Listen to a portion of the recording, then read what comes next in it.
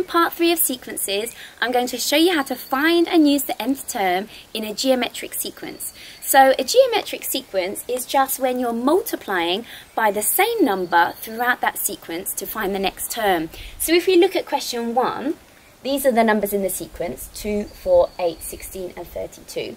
You should be able to see each time you're multiplying the numbers by 2 to work out the next number in that sequence. So 2 multiplied by 2 is 4, 4 multiplied by 2 is 8, 8 multiplied by 2 is 16, and so on. So if you needed to find the next term in that sequence, you would take 32, multiply it by 2, and it would give you 64. So I'm just going to show you how sometimes it can be easy to just spot the nth term in a geometric sequence and then I will show you the general formula which will help you work out the nth term for all geometric sequences, okay? So because we're multiplying by positive 2 each time, in the nth term you should see 2 to the power of something within it, okay? And if you look at the position numbers, n, which are written along the top here, you should be able to see that when you change the power here to n, the position number, it generates the numbers in that sequence. So 2 to the power of 1 gives you 2. 2 to the power of 2, so 2 squared, gives you 4. And 2 to the power of 3, 2 cubed, gives you 8. So to generate the numbers in this sequence, you take the number 2 and you raise it to the power of the position of the number in the sequence. Okay, so because that's the rule for finding the numbers in the sequence, that is the nth term. I'm just going to show you now how to find the nth term using this time the general formula. So the general formula is an, that just means the nth term, is equal to a1 a1 is the first term in the sequence, so the first number in your sequence. And then you have to multiply that by r, which is the common ratio. And the common ratio is the number that you're multiplying by each time. So in question 1, it would be positive 2. And then you raise the common ratio to the power n minus 1. Okay, so the power is always n minus 1. So if we look at question 1, um, we want to work out the nth term, you take the first term, a1, so here it would be positive 2, and then you multiply it by the common ratio, which is also, just by coincidence, positive 2, and then you raise that second 2 to the power of n minus 1.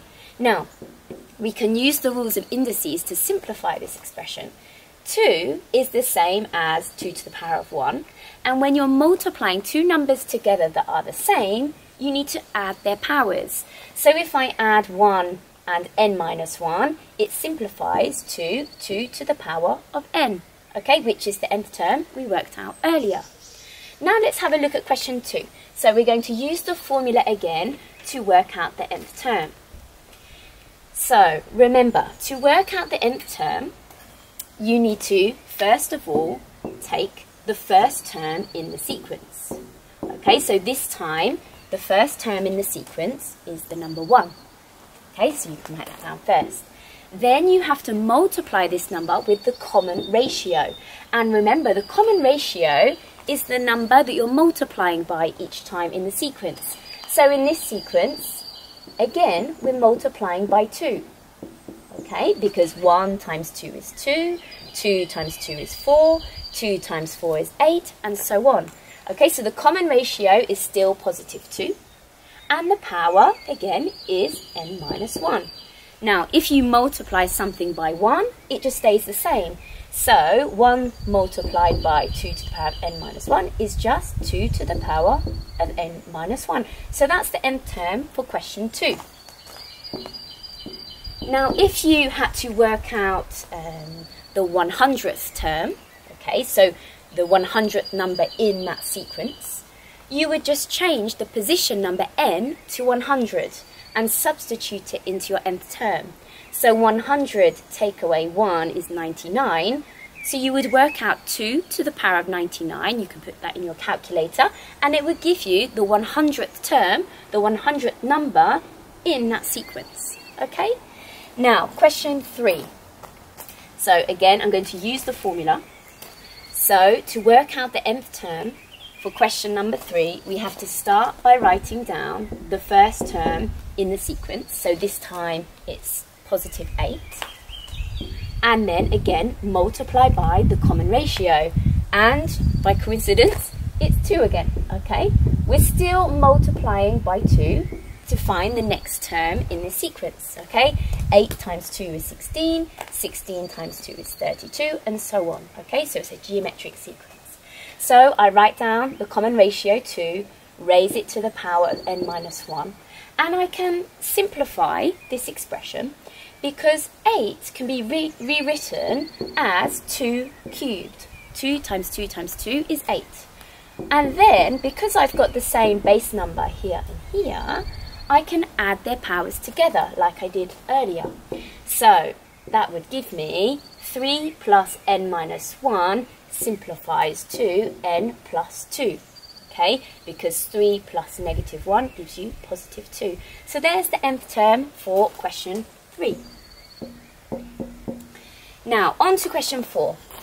So we're using the formula again to work out the nth term. And the first term in this sequence is 5, okay? So you start by writing that down. So you're just substituting that into the formula here in place of A1. And then you're multiplying by the common ratio. Now this time the common ratio is different. This time we're multiplying by 5. Okay, so 5 times 5 is 25. 25 times 5 is 125 and so on. So we need to multiply by 5 and then raise it to the power of n minus 1. So it's a bit like that one I showed you earlier, okay? You can simplify because you're multiplying these two numbers which are the same together and you're adding their powers. So if you add 1 and n minus 1 together, it simplifies to 5 to the power of n. Okay, so it's like question 1 okay, you're just taking the number 5 and raising it to the power of the position number n. So 5 to the power of 1 is 5. 5 to the power of 2, 5 squared, 5 times 5 is 25. 5 to the power of 3 is 125. Okay, so that's a slightly easier one. Now, let's look at the last question, number 5. So this time, the first term is positive 3. So you can write that down first. Then let's look for the common ratio. So it looks like we're multiplying by 5 again. Okay, so 3 times 5 is 15, 15 times 5 is 75, and so on. Okay, so the common ratio is 5. So it's 3 multiplied by 5 to the power of n minus 1.